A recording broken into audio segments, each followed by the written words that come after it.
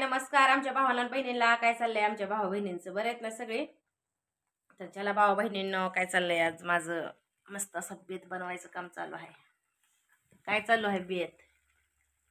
कुणा कोणाला आवडतं? आज माझ्या आवडीचा बेत आहे बेसन मला लय आवडतं. तसं मला आज शेवग्याची शेंग लय खाऊ वाटली होती.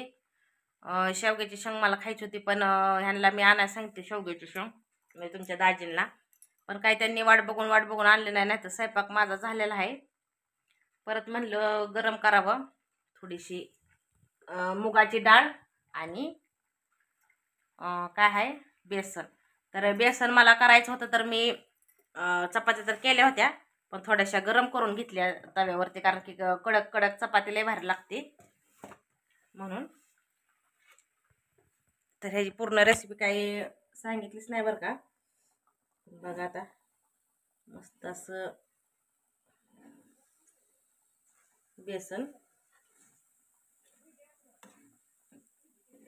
आत्या, बेसन केलंय, बेसन न्या गरम गरम. बेसन बेसन. हा, बेसन करते, न्या गरम गरम खायला. हा? हाय की, हाय भात इथं? गरम गरम आहे बेसन थांबा जरा. हो दे की अजून होईल नाही. हा. थांबा की बसा की इथंच. साव सावलेला. बरं बरं. देते मी. काय? हाय हाय भात.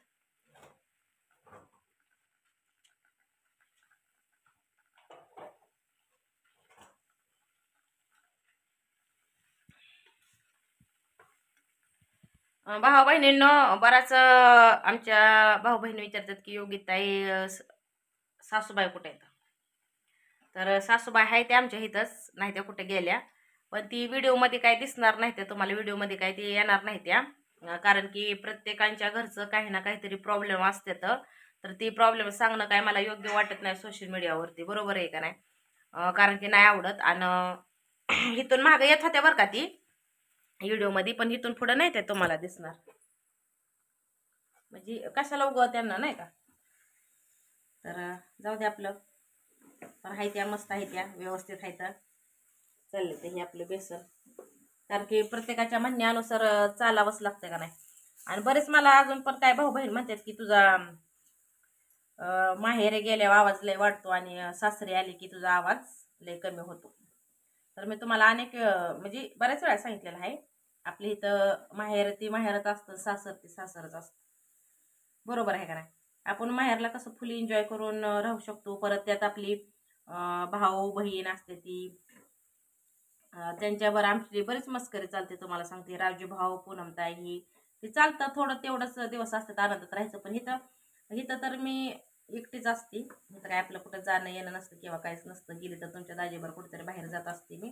ते पण सामान हे आणायचं म्हटलं तरच. कुठं बाहेर. नाहीतर दुसरीकडे कुठं जाणं येणं नसतं आपलं भाऊ बहिणीतनं त्यामुळं मग माहेरला गेल्यानंतर न आजतून इथं जे आपल्या इथं आहेत शेजा फा शेजारी हे आपल्या शेजारी हे बरेच आहेत ते. त्यामुळं त्यामुळे ते काय म्हणणार की ही एकटीच कोणाला बड बडबड करते ना. आपण असं जर बोलायला लागलो घरात तर माणसांच्या मनामध्ये वेगळीच गलतफ्रेमी होऊन बसते. त्यामुळं आपलं काय असेल ते बस तुम्हाला आवाज आला म्हणजे बाद झालं. बरोबर आहे का नाही? आपल्या भाऊ बहिणींना आवाज आलं बाद झालं. काही लईच मोठ्यानं बोलावं न लईच हळूनं बोलावं असं काय नाही. आपण मस्त असं सुक्क बेसन करून घ्यायचं आपल्याला एकदम मस्त असं. एकच नंबर बेसन लागतं. मला तर आज तशी खायची होती शेवग्याची शेंग. स्वयंपाक करून मी वाढवतो तुम्हाला सांगते चपात्या ही माझं कवाच झालेलं आहे तर दाजींना तुमच्या आणायला सांगितले शेवग्याची शेंग पण काय त्यांनी आणलीच नाही.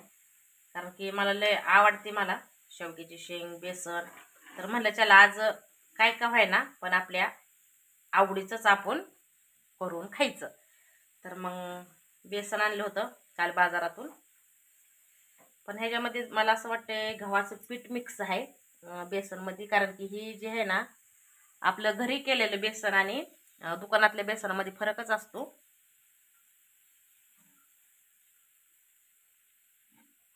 बरोबर आहे का नाही?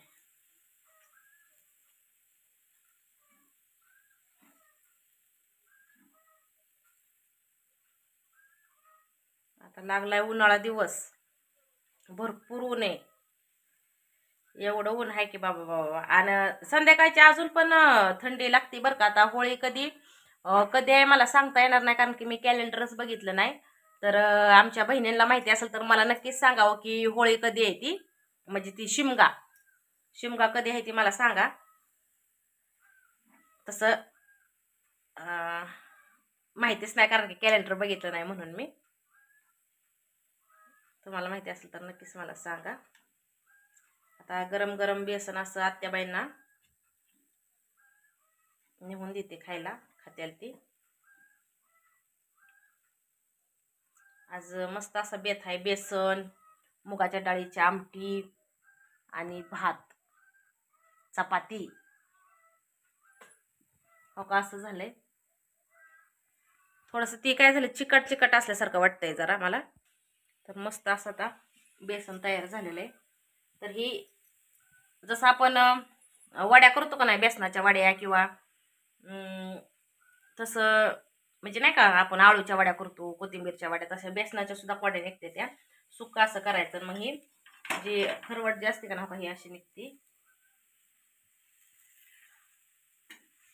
असं. एकदम असं वली टाईप बेसन एकच नंबर लागतो. अशी.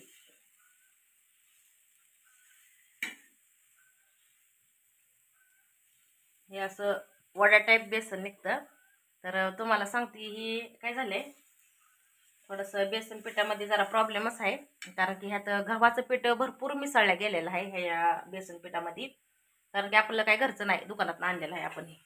त्यामुळं. घरचं एकच ना घरचं बघू आता. डाळ आपली एक एक दोन किलो आणून हे करायची दळायची.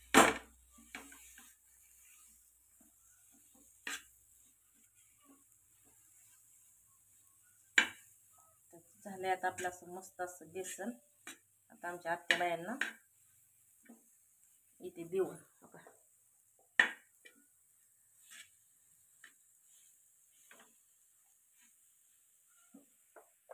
तर ह्याच्यात मी फक्त टाकलंय काय?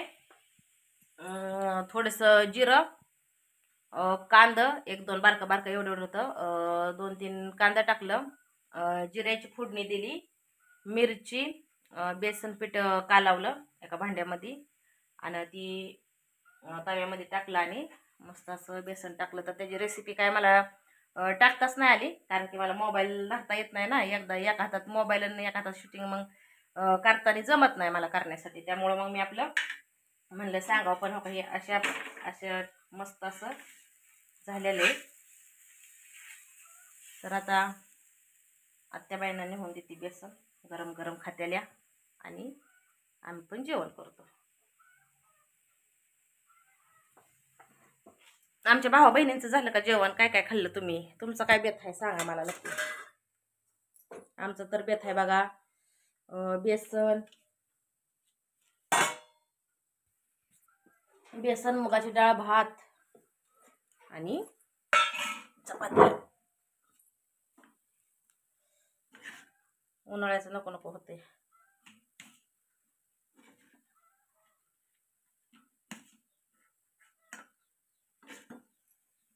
आमच्या आत्याबाईंना सुद्धा काय आवडतं बरं का बेसन? तर ही चालवलेलं आहे मी आमच्या आत्याबाईंना बेसन. गॅस बंद केला. बेसन देऊन येते आधी भावा बहिणींना.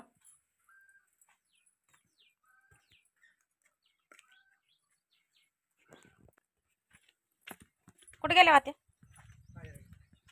का? तर चला आणून ठेवले तर आत्यांच्या इथं ब- बेसन मी झाकून ठेवते. आत्या इथं बाहेर गेले ते पाणी का काय आणायला. आता मी पण जेवण करते. मला बेले भूक लागली कारण की बरा दुपारचा टाईम झालेला एक तर एक वाजली असेल. शेवग्याच्या शेंगाची वाट बघून वाट बघून मला ह्यो टाईम झाला. तर शेवग्याची शेंगा आहे आपल्याला आली नाही. बेसन झाकून ठेवते ना. काही पण हो. किड म- मुंग्या पाली हे काय पण असतं. आत्या बेसन आणून ठेवले हां हां. तर घ्या मग सगळ्यांना आपापली काळजी भेटू आपण फुले व्हिडिओमध्ये बेसन खा परत गरम गरम आहे? त्या थोडंसं खा बेसन. Bye bye